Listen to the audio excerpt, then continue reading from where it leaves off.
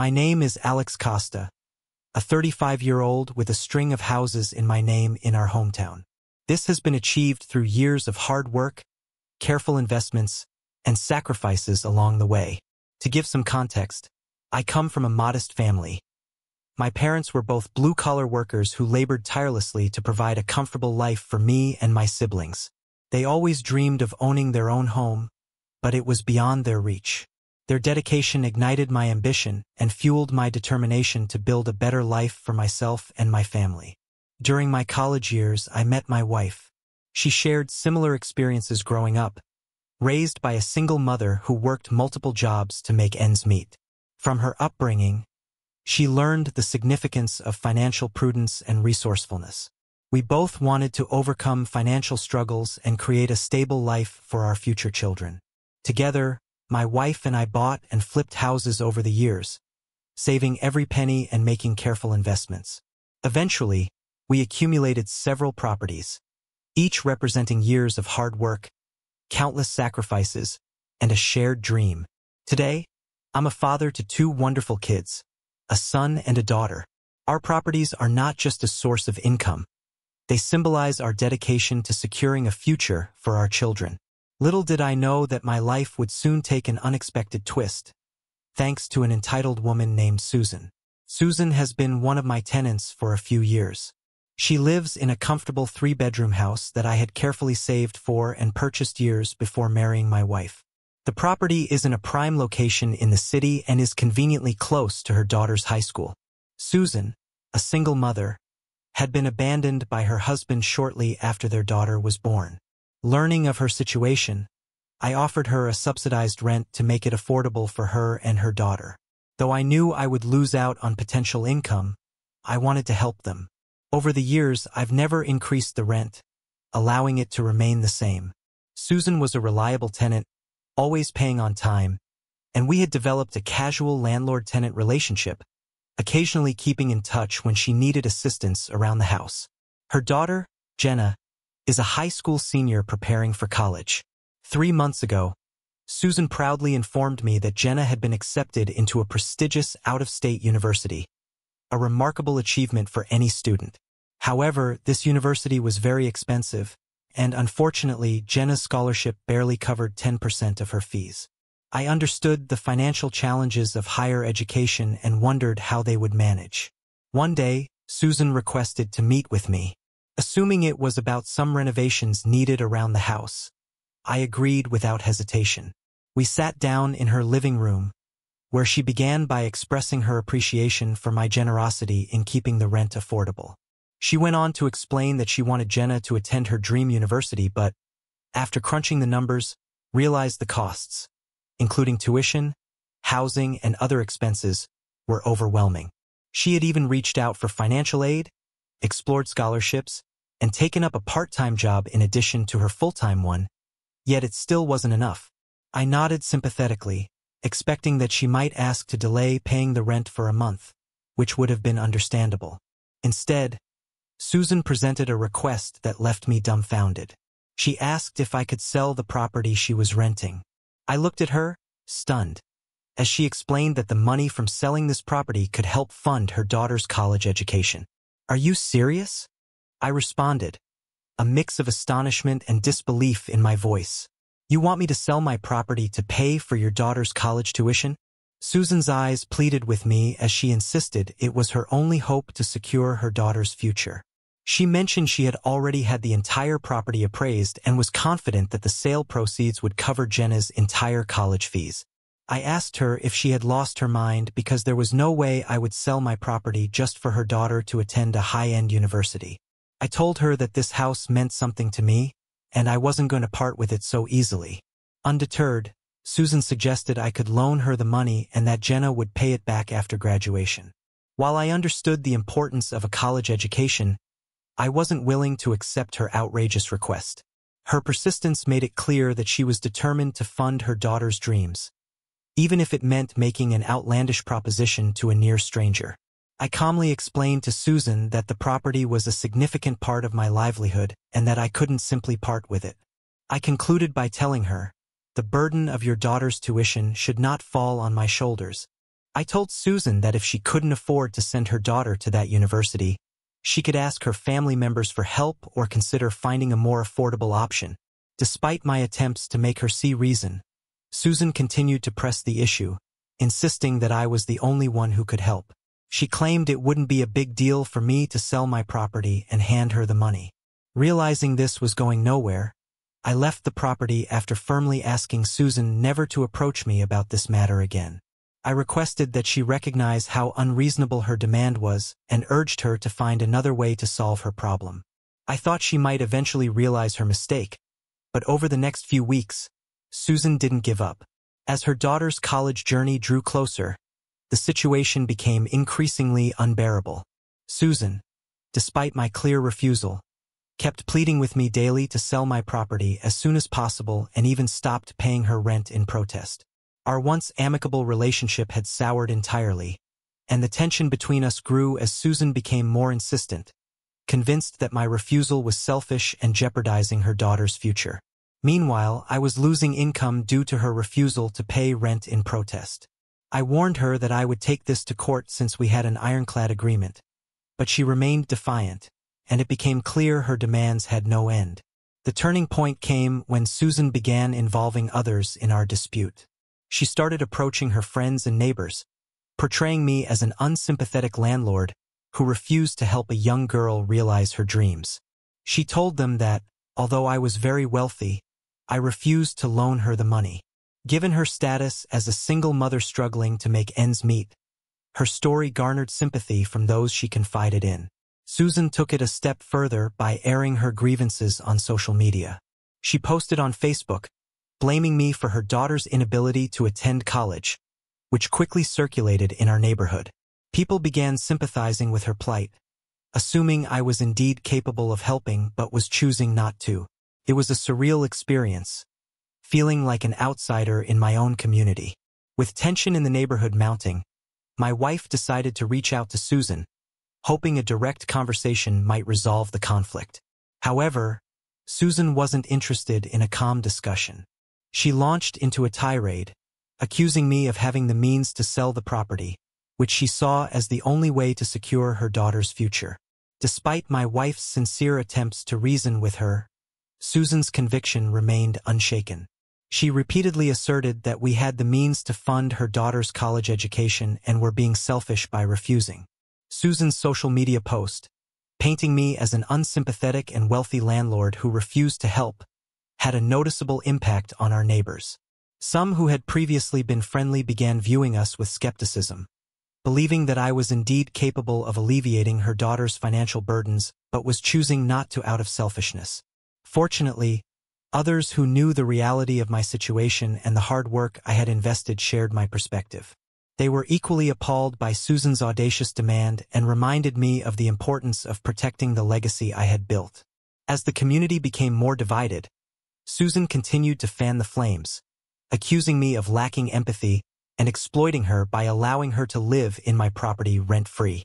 Her social media posts became more vocal, sharing exaggerated stories of her daughter's determination and the sacrifices she claimed to have made to prepare for college. The situation escalated from a private disagreement to a public spectacle. The weight of the allegations began affecting my family as well. My children started experiencing bullying at school, with classmates parroting the false claims they had seen on social media about me. Watching the distress this situation caused my family was heartbreaking, and I knew I had to act. I had hoped Susan would eventually stop, but now that my children were suffering, it was time to set the record straight and defend my integrity. I reached out to a lawyer who specialized in property disputes and landlord-tenant conflicts. Together, we drafted a cease and desist letter to end Susan's defamatory actions and protect my standing within the community. My lawyer explained that the letter was the first step in our legal battle, and if Susan didn't back down, we would pursue the matter in court. When Susan received the letter, she was understandably shocked. She attempted to reach out to me by phone, but I chose not to answer her calls. Instead, she sent me a text message, expressing her desire to talk and clear this up before things went too far. She claimed it was all a huge misunderstanding, and suggested we could discuss it to resolve the issue. I replied, stating firmly that my intention was to take her to court if she continued her campaign against me. I told Susan to brace herself and enjoy it because she would soon regret ever trying to mess with me. I knew this was going to be an uphill fight. This woman had been relentless in insisting that I pay her daughter's tuition, damaging my family's reputation both in the community and online. My lawyer is preparing our case for trial if she refuses to back down, outlining all the false accusations and the harm she's caused us over the last few months. When some of my relatives heard I was taking her to court, they suggested giving her a chance to settle the matter amicably, citing that she's a single mother trying to do the best for her child. So, Reddit, am I the villain here for refusing to sell my property to pay this entitled mom's daughter's college fees and instead taking her to court? Susan responded to our legal action with a letter filled with threats and more defamatory claims. She accused me of charging high rent, knowing her financial struggles, which she claimed made it impossible for her to save for her daughter's education. I can't believe how low she's willing to go, stooping to outright lies to get her way. Her accusations are entirely baseless, and it's incredibly frustrating to see her play the victim when I had provided her with a subsidized rent all these years. It's clear she's trying to manipulate the situation in her favor, and I'm not about to let that happen. My lawyer, Brian, assured me that we have a strong case since her accusations are groundless, but he also warned me to be prepared for a long, draining legal process.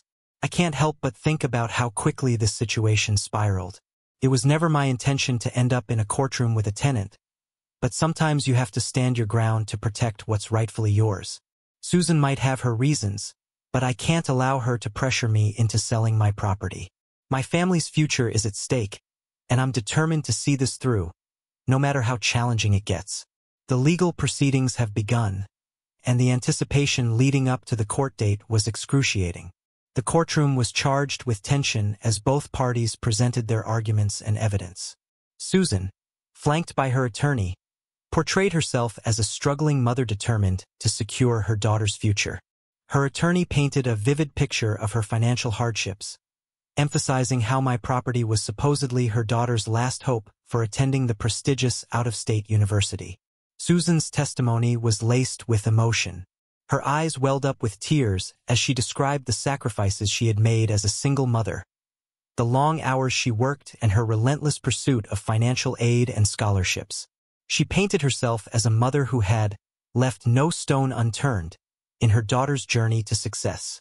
Throughout the proceedings, Susan's attorney relentlessly tried to paint me as a wealthy, unsympathetic landlord who prioritized profit over a young girl's dreams. They implied that I had been fully aware of Susan's financial struggles yet continued to exploit her with high rent. But the most astonishing twist came when Susan introduced a witness, a family friend, who claimed to have overheard a conversation in which I allegedly promised to sell the property to finance her daughter's college education. I sat in disbelief as this blatant falsehood was presented. My attorney, Brian, vehemently challenged the claim, asserting that no such conversation ever took place.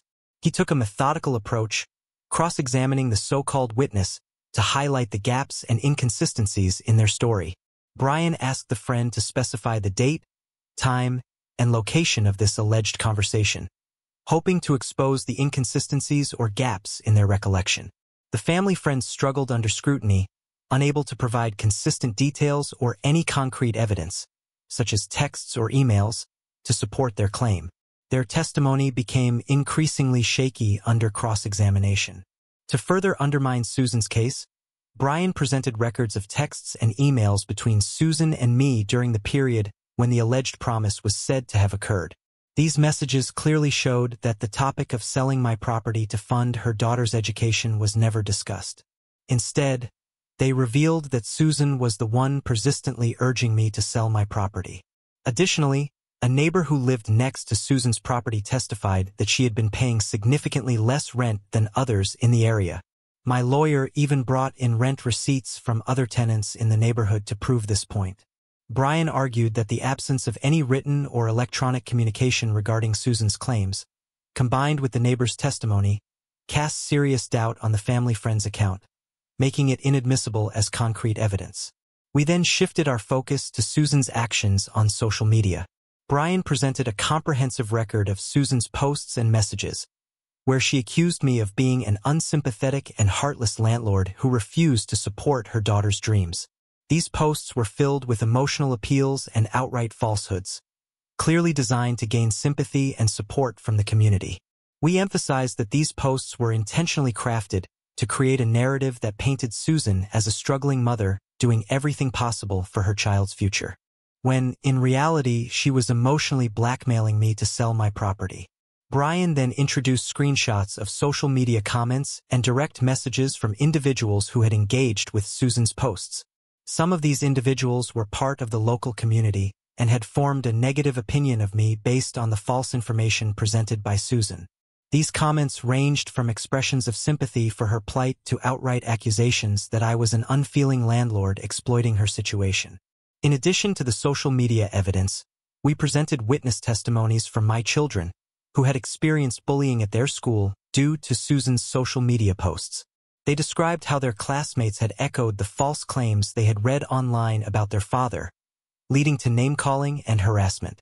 My attorney went on to argue that there was a direct connection between Susan's false accusations on social media and the bullying my children had endured. The intentionally misleading narrative she had crafted had not only damaged my reputation but also directly affected my family's well-being. This presentation of evidence effectively showed how Susan's actions on social media led to real-life consequences for my children. As the legal proceedings continue, I am confident that justice will be served. The evidence presented so far has shed light on the truth and exposed the false claims made against me. I believe that the court will see through the manipulation and ensure a fair outcome in this case. The past month has been a grueling experience due to the legal proceedings. It has been like a roller coaster ride, with unexpected twists and turns.